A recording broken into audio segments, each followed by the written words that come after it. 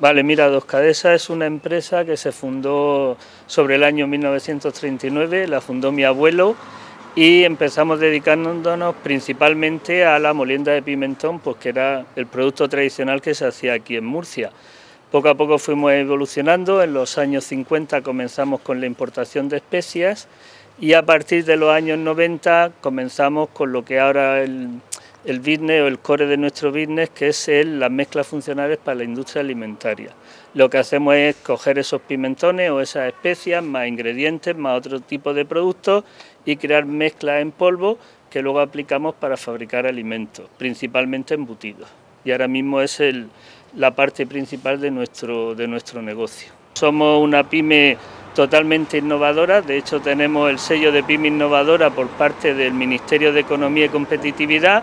y dedicamos, para que hagáis una idea, de unas 50 personas de personal que tenemos en plantilla, 10 personas están dedicadas a las labores de calidad y innovación e investigación. La empresa la cambiamos en el año 2000, por eso nos, llamamos Dos Cabezas 2000. Antes era una empresa familiar que éramos eh, autónomos y ya bueno, con el crecimiento de la empresa pues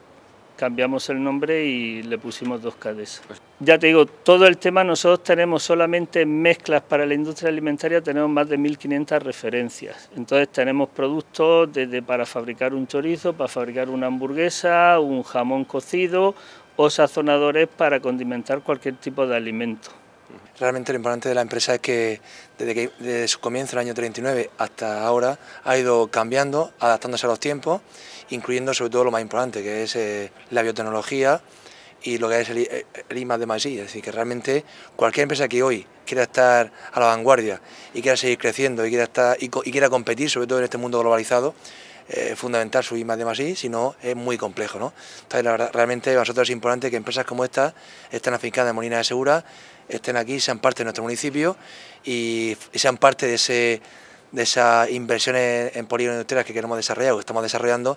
donde se demuestra la necesidad de que estas empresas estén en las mejores condiciones posibles y no se quiera ir nunca de Molina de Segura.